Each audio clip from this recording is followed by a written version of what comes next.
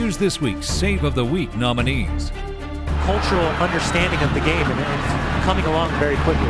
Diaco to Papa Oduro fires Rimando, making the save. Papa now on the volley and he humps it over the bar. But Dominic Oduro gets his head up, look for the corner. It's a great save by Rimando.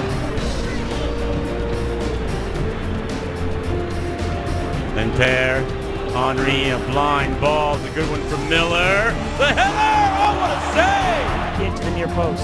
Feilhaber's delivery. It bounces and just pawed away there by Keller. Always a dangerous ball when no one gets to it, so he has to wait, wait, wait because if someone touches reaction save from the big man. The presence of mind to pull it back, control it, and find a player. The extent of his exercise is right there. Ball loose. Bunbury cuts it back. What a stop by Busch! Brilliant by both players. He gets it, takes advantage here. Should have taken advantage. Alia, he beats Burling. They haven't seemed to miss them so far. Here's Darlington Nagbe. Plays the ball back for Cooper. Saved by the legs of Cannon. Denying Cooper and the Timbers a second strike. It's a mistake from Brovsky. Doesn't deal with this. He tries to control it with the right boot. Lucky not to give away a penalty if Nagbe goes down there.